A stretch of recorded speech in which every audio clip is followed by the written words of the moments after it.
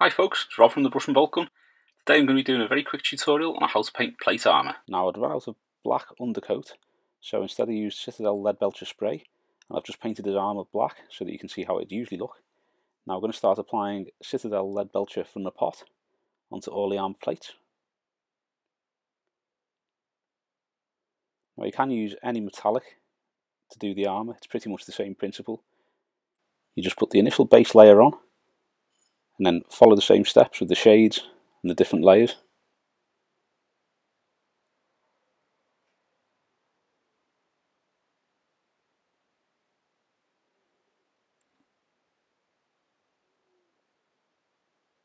Now the next layer that we're using is Citadel Nuln Oil.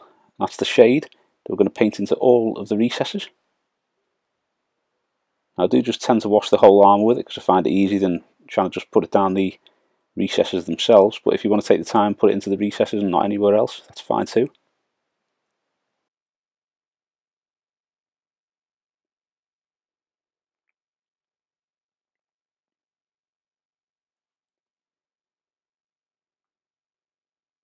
Like so. Now we're going to reapply the base colour, which was the Citadel Leadbelcher. You're going to reapply that so that you're leaving the shade in the recesses and bring that armour back up to a nice shine again.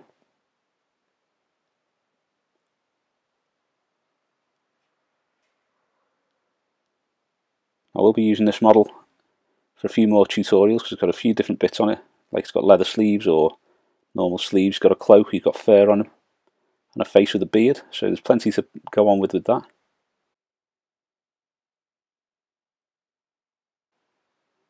Now that we've painted the metallics on, you can leave it there if you want. It does look perfectly good like that. I'm going to carry on with another two layers. The first one is going to be Citadel Leadbelcher with some Vallejo Model Air Chrome added to it. And this will just give a lighter highlight and a bit more shine to the areas that be catching the light. Now you don't use, need to use this mix. You can use just a lighter metallic.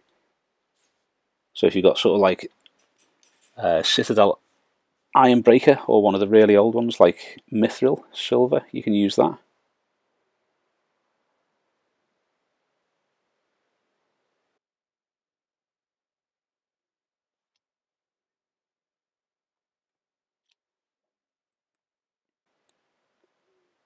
That's with the first highlight on it. I'm just going to do one more highlight, which is going to be pure Vallejo Model Air Chrome. You're just going to put a little bit of a highlight on the areas that you've just highlighted. Leaving some of the previous layers showing around the edges of it. That's just to give it a final little shine.